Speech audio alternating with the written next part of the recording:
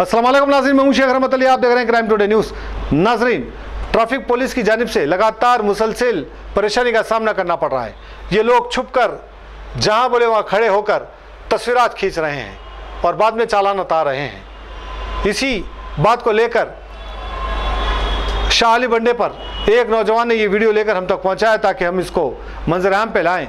किस तरह से जो भी दुकानदार में ग्राहक आता है, उनकी तस्वीरें खींची जा रही है। और उनको समझाने पर, बोलने पर भी वो नहीं सुन रहे हैं।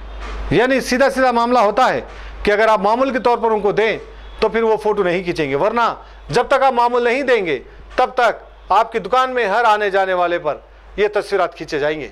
नासिन अमूमन देखा ये जा रहा है कि ट्रैफ़िक के तकरीबन पुलिस वाले और या रात के लैंड ऑर्डर पुलिस वाले डिपार्टमेंट के लिए काम नहीं कर रहे, आम आदमी के लिए वो काम नहीं कर रहे वो, ये जो कंपटीशन रहता है उनके लिए काम कर रहे हैं। जो ज़्यादा रुपये दिया, उसकी बात सुनते हैं और वो जो टारगेट बताता है कि इसकी दुकान पर तस्वीरें डालें, वो काम कर रहे हैं। डिपार्टमेंट को सीधे ऐसे लोगों पर कार्रवाई करने की ज़रूरत है और तहकीक करने की ज़रूरत है और ऐसे लोगों को सस्पेंड करने की ज़रूरत है।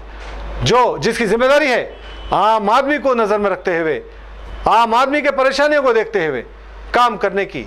लेकिन ऐसे को रसुखात लोगों के साथ काम करने, उनके लिए काम करने के लिए अब डिपार्टमेंट पूरी तरह से तैयार हो गया है और काम कर रहा है।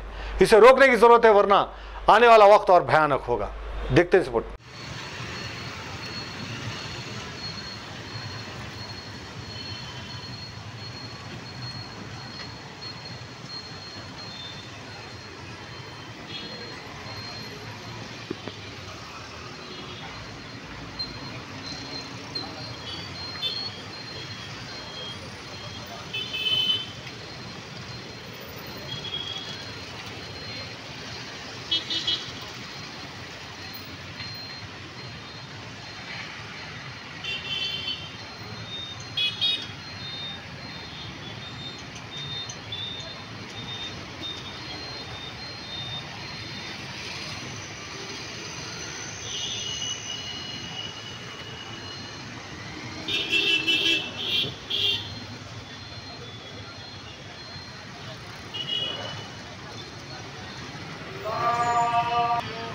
नहीं ले रहा